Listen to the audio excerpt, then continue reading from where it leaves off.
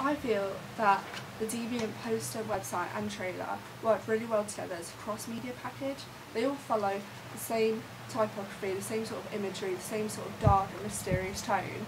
And what I especially really love about the trailer is the fact that this this is mainly it's mainly um, just covered by the main image, which is a really strong image.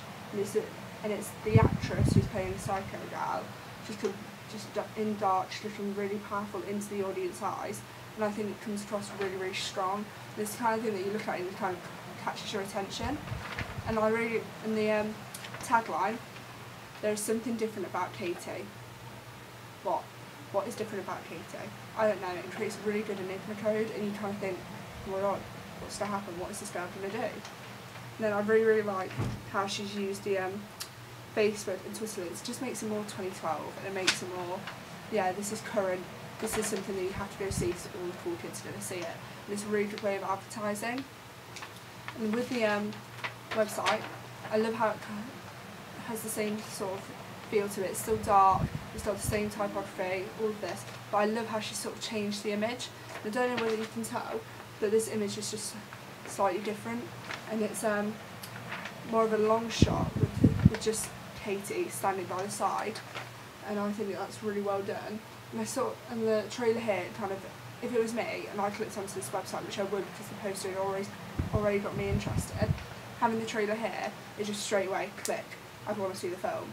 Because the trailer is really good, the trailer is amazing. And um, the tagline is here again, and I think it's really, really good and lovely because there's something different about Katie. It just creates more of a code, and that running with the trailer just creates a really nice feel overall I think the trailer is very very good. The only thing I'd say personally that needs to improve is the fact that some shots are a bit too dark and it's all sort of the same. You can tell it's all happened over one night and that doesn't really fit the horror genre. It's sort of like long areas of um, long periods of time and lots of little things happen that, automa that automatically build up to one big climax. But that's just my personal view. But overall, I think the trailer is absolutely good, really, really good. I think it's absolutely great. I really like how she used different images and different sort of um, scenes to really like captivate the audience and like leave us wanting more. There's one bit where she just she takes a step out of the darkness into the light and it's really scary and it caught me off guard. I was like, oh my god, and it was really really scary and I thought, oh my god, I have to see this film. It seems really really good. It seems really really nice. It seems really scary and I really want to know what's happened to her. So at the beginning of the film, it sees the uh, mental institution, which I think is a really nice touch. And uh, then you kind of think, oh my god, what's wrong with her? So altogether, they create a really strong Enigma code, which I think is fabulous.